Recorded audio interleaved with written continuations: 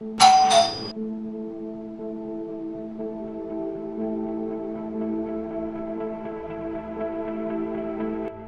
मोक्ष what a pleasant surprise तुम अचानक कैसे कॉल भी नहीं किया।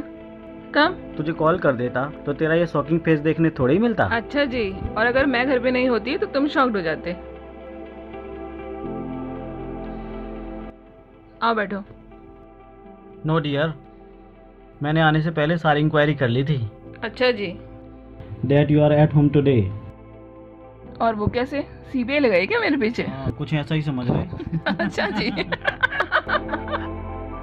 I told this to call you कि तेरा कोई प्लान तो नहीं आज का। और तू उसे तो सब बताती ही है।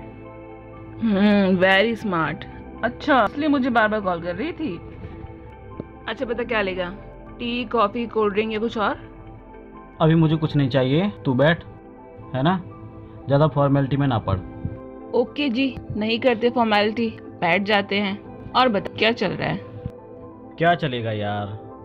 इस लॉकडाउन में सब बेकार है। पूरा एक साल निकल गया। अब तो ऐसा लगता है मुझे मेरी ज़िंदगी में 2020 कभी आया ही नहीं था। हाँ सही बोल रहे हो वैसे। मैं भी पक गई घर में वर्क फ्रॉम होम कर करके। अब जाके ऑफ़िस स्टार्ट हुए हैं। तुम जॉब वाले लोगों का तो बहुत अच्छा है यार। सबसे ज़्यादा प्रॉब्लम तो हम स्टार्टअप वालों को हुई है।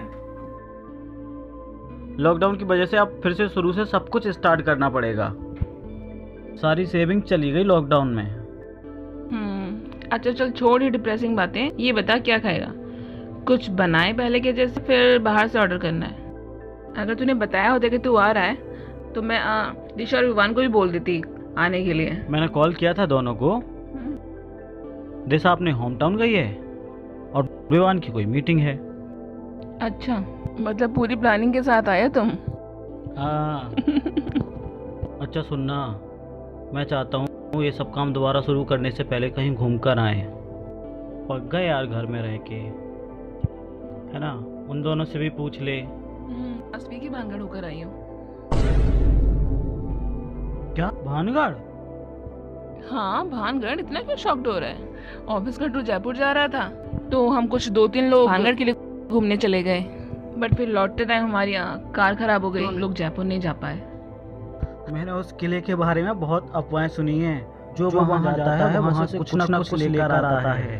हाँ। हम भी लेकर आए बहुत सारी memories you should go there बहुत अच्छा एटमॉस्फेयर है बहुत शांति है। तुम्हें ज़रूर जाना चाहिए।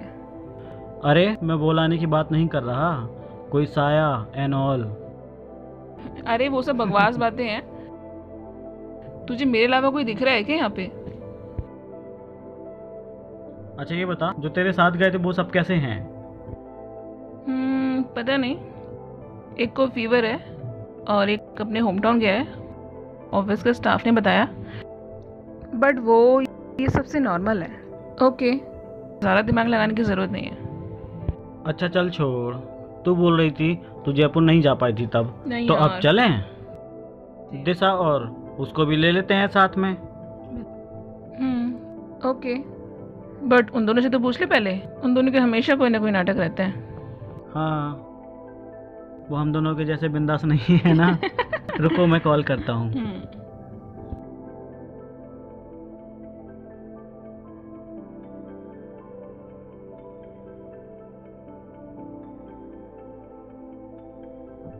हाय दिशा। हाय विवान। अरे सुनो मैं रिति के घर पर हूँ और हम दोनों जयपुर जाने का प्लान बना रहे हैं। तुम दोनों अपना अपना बैग पैक कर लेना और सैटरडे मॉर्निंग घर के बाहर मिलना वहीं से पिक कर लेंगे हम। ओके? चलो बाय अरे ये क्या? तुमने उन्हें पूछने के लिए फ़ोन किया था ना? और ऑर्डर देकर फ़ोन रख दिया। मना कर दिया उन दोनों ने तो? ना बोल ही नहीं सकते। अच्छा। तू देख लेना। पाँच बजे घर के बाहर खड़े मिलेंगे दोनों।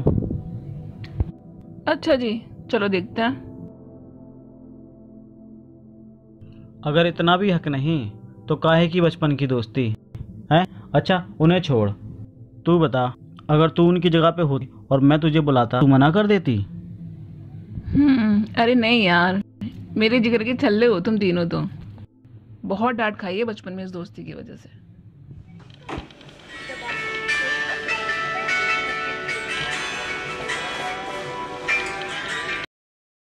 हेलो हेलो कहाँ है यार तू?